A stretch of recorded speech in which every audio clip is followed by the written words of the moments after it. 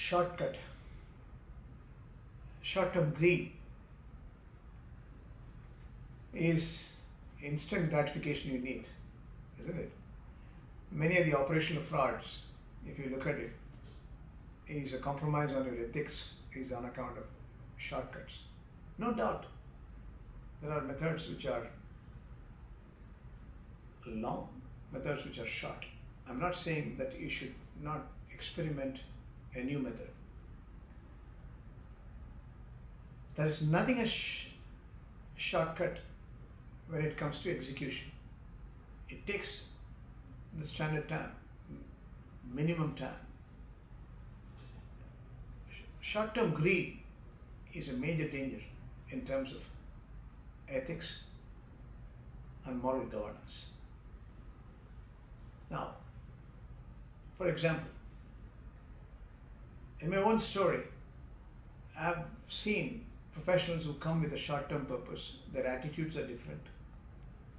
I had head of technology operations manager who resigned because he was asking for another job. He didn't get it as a transitory phase. He came in here. He was not focusing on the job. He was only playing tricks. He was day one conflicting with a considered vision centered principles for the organization. He was politicking. He wanted breakdowns, not breakthrough. He doesn't want commitment. He wants the same level of compensation which he aimed at. So he was mm, by crossing all the organization levels and giving wrong information and short circuited in the end his own career. Now, the reason why I'm bringing this is, is to recognize you don't need to have short term greed.